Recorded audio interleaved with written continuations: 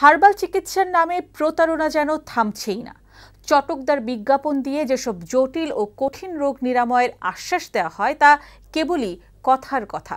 এসব কবিরাজ, হেকিমদের মুখস্থবিদ্যার চিকিৎসা নিয়ে উল্টো অসুস্থতা সহ শারীরিক জটিলতায় আক্রান্ত হচ্ছেন রোগীদের অনেকে।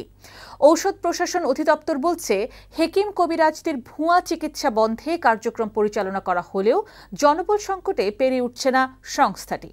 বিস্তারিত জানাচ্ছেন শিকদার মেহেদি।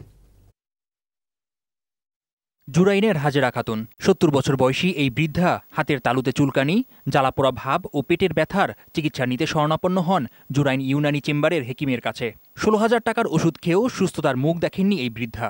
তার ছেলে জানালেন রোগ সারার চেয়ে উল্টো বেড়েছে তাই তার মা এখন হাসপাতালে ভর্তি। অনেক দিন খাওয়াইছি ওষুধ খাওয়াইছি। ওষুধ খাওয়ানোর পরে তারপরে তাও দেখি ভালো হয় না। ঢাকা মেডিকেল চিকিৎসা করার জন্য আমি এই নিয়ে নিয়ে আসি। এই চিকিৎসার নামে যত্রতত্র সাইনবোর্ড স্বল্প ও দূরপাল্লার গাড়িতে লিফলেট এমনকি স্থানীয় ক্যাবল চ্যানেলে চিকিৎসার নামে চলে চটকদার বিজ্ঞাপন। এক ফাইলে যথেষ্ট। রিসেপশনিস্ট থেকে ভারত হারবালের হেকিম হওয়া এই ব্যক্তি স্বীকার করলেন রোজগারই তাদের মুখ্য উদ্দেশ্য। আসলে কি? হ্যাঁ আমরা বিজ্ঞাপন করি। বিজ্ঞাপনের সাথে হান্ড্রেড পার্সেন্ট মিল রেখে কোনো কিছুই করা সম্ভব না। স্বেচ্ছায় এমন হঠাৎ চিকিৎসক হওয়া কবিরাজদের কবলে পড়ে কিসারত দিচ্ছেন জটিল ও কঠিন রোগের সেবা নিতে আসা রোগীরা। এমন ভুক্তভোগীর সংখ্যা দিন দিন বাড়ছেই বলে জানালেন বঙ্গবন্ধু শেখ মুজিব মেডিকেল বিশ্ববিদ্যালয়ের উপাচার্য।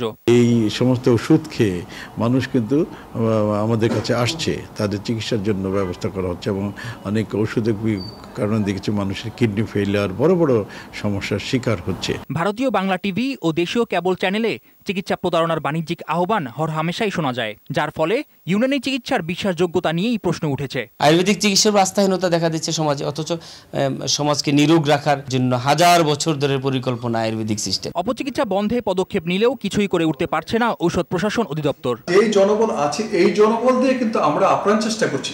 নির্মূল করা হয়তো সম্ভব হয়নি কিন্তু আমাদের এই তৎপরতা অব্যাহত আছে। বিজ্ঞাপন নির্ভর ভুয়া চিকিৎসা বন্ধে আইনি পদক্ষেপের পাশাপাশি সচেতনতা বাড়ানো প্রয়োজন বলে মনে করেন বিশেষজ্ঞরা।